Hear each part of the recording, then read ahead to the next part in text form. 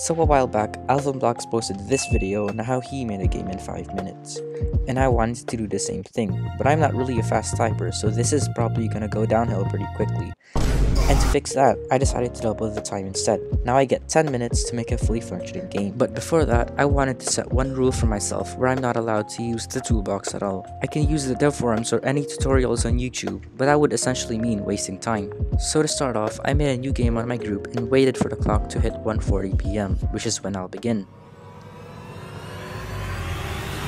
I began by inserting a script into ServerScriptService and programmed it to create a leaderboard, and surprisingly, this took less than a minute. I then made a new script which will handle the game itself. My goal is to make a survival game where it rains parts all over the map, which kills you and resets your survival time if you touch one. And while working, I suddenly made a great realization that I had absolutely no idea how to position the parts.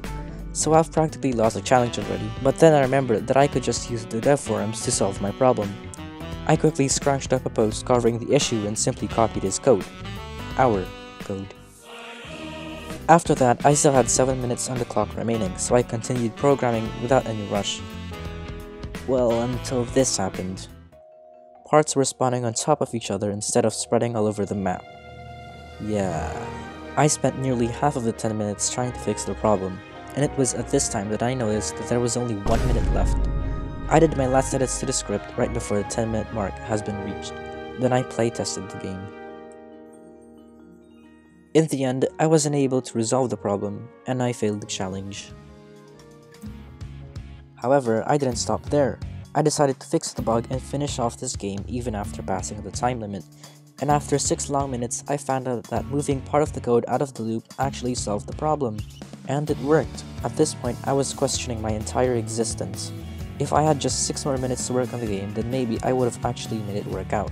10 minutes after the time limit, I made the final changes to the game and sent it off into the world. If you want to play the game, then it's linked in the description, and if you want to subscribe then, feel free.